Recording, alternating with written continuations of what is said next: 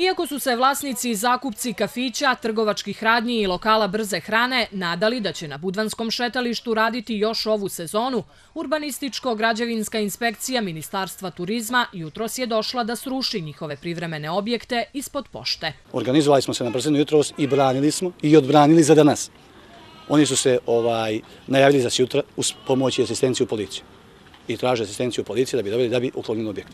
Ali ne sve, već samo one manje. Inspektor im je navodno stavio do znanja da će za veće objekte, restorane i diskoteke sačekati stav resornog ministra Pavla Radulovića. Zašto konačan stav ministar ne bude decidan i jasan?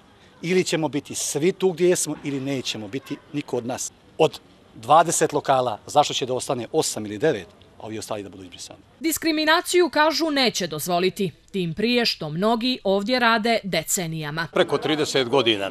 Već e, trebao sam ove godine da dobijem 31. rešenje o korišćenju morskog dobra. Više puta slali su zahtjeve Mortu, a još jednu poruku šalju im i danas. Mi smo da se nađe rešenje ono kako je nama rečeno da se ostane još ovu sezonu do kraja oktobra, nakon toga da se pristupi planu uređenja šetališta. Da nam daju mogućnost da odradimo turističku sezonu, a onda i mi obećavamo da ćemo to uraditi na kraju turističke sezone sami ukloniti objekte i urediti prostor gdje su se nalazili. Inspekcija Ministarstva turizma nije uspjela da ukloni ni veliku skakaonicu Banđi na slovenskoj plaži, jer su ih u tome spriječili vlasnici koji žele da je sami uklone nakon što prestane kiša. Inspektori su danas ipak uklonili više objekata ispod Jadranskog sajma. Iz morskog dobra kažu da su poslali opomene zakupcima i da će se rušenje nastaviti. Svi objekti koji po evidenciji kontrolora morskog dobra do danas nisu uklonjeni, u narednih nekoliko dana bit će uklonjeni od strane izvršnog tima Urbanističko-građevinske inspekcije iz Resornog ministarstva.